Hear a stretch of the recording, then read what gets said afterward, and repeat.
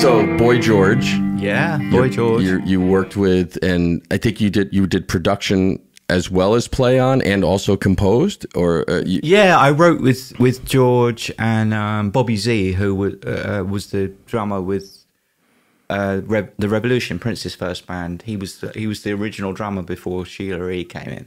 oh, I didn't know that. Yeah, okay. Yeah, so Bobby, um, you know, Bobby's from Minneapolis, and he he was he was pretty close to Prince. You know, I only know the keyboard player from. Oh, because he has the same name as you. Wait, from Matt from Fink.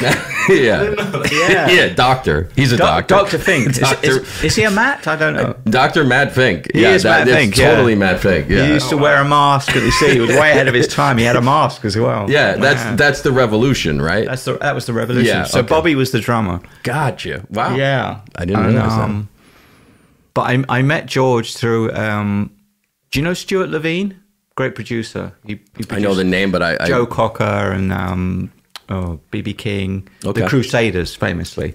Okay. That, that string of great Crusaders records. Okay. Southern Comfort, all of that. That's all produced by Stuart. So I, I'd met Stewart.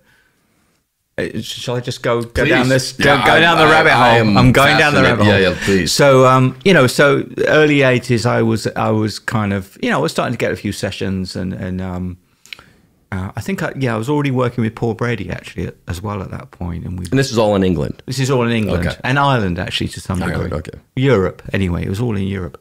And um, Stewart, um, who actually lived, I don't, know, don't think he lives there anymore, but he lived in Big Indian, which is just up the road from Woodstock. Sure. Very, very near to here. And he had a production company called uh, Olive Oliveira Productions, because, you know, Olivera. yeah, exactly. Yeah. So um, he came to London um, just looking looking to do some interesting stuff as a producer, and uh, he worked with a guy called Stan Campbell who had had a record called Free Nelson Mandela, which is a big hit.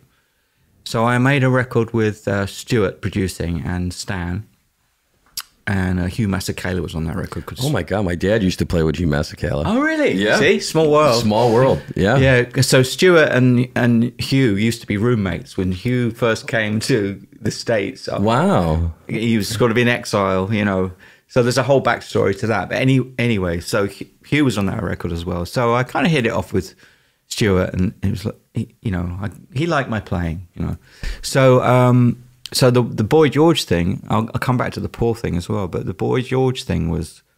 Um, I was actually playing with Paul Brady. We were touring the west of Ireland, and because there's no cell phones in those days, so um, it was really hard to get hold of people. right?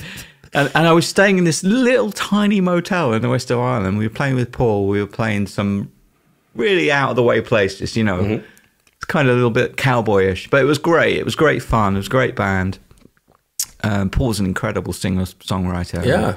Um, so th- I'm in this motel, and the guy from the, you know, the reception guy, just kind of came and banged on the door and said, "Hello," you know. I have a phone call for you. It's some guy from America. You know, it's Stewart. Anyway, uh, so this would have been about '85. Even now, I guess it's like late '85. It was when Culture Club had split up, Gotcha. which was Boy George's band, and um, they'd all fallen out pretty fast, like pop bands do. Yeah. So, um, What an amazing run, though. oh, they had a great run. You oh know? my God. But then, they, then it just did what pop bands often do. They were like, "Oh, we all hate each other."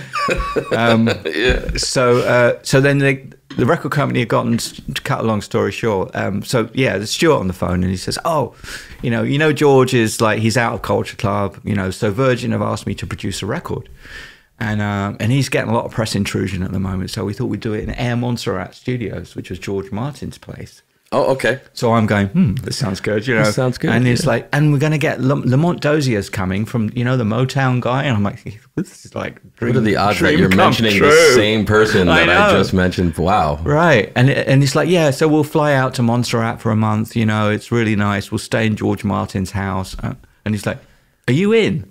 I'm like, I have to think of it. No, I mean, I was like, are you kidding? You know? yeah. So that's how I met George. And, um, and uh, yeah, the next, you know, I, I guess it was about three, four weeks later, we flew out to.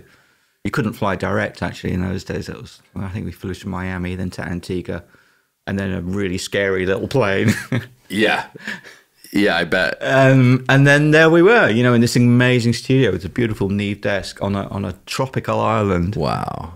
So um, you know, I was I was pretty lucky, you know, because I mean, what you think? Well, what what if I hadn't been at the motel, and or the guy had gone? Oh, I don't know, you know, I don't know that. When if you didn't play as brilliantly as you do. well, that's Yeah. very kind. But- yeah.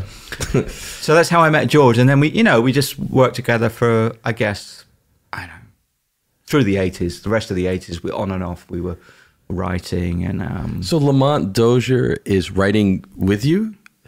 He co-wrote most of that first album. I I, I only wow. co-wrote one track on that. Um, I was like new, so it was like. But then the next record um,